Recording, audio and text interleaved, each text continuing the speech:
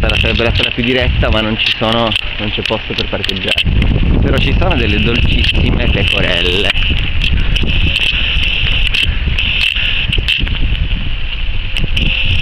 Eccola qui. Bene. Il sentiero giusto è parallelo a questo ma più sulla destra. Sarebbe percorribile col furgone ma non c'è parcheggio comunque non cambia molto perché il sentiero è più in là e la distanza è la stessa ed è accettabile per arrivare al centro boschivo del gioco saranno 5 o 600 metri forse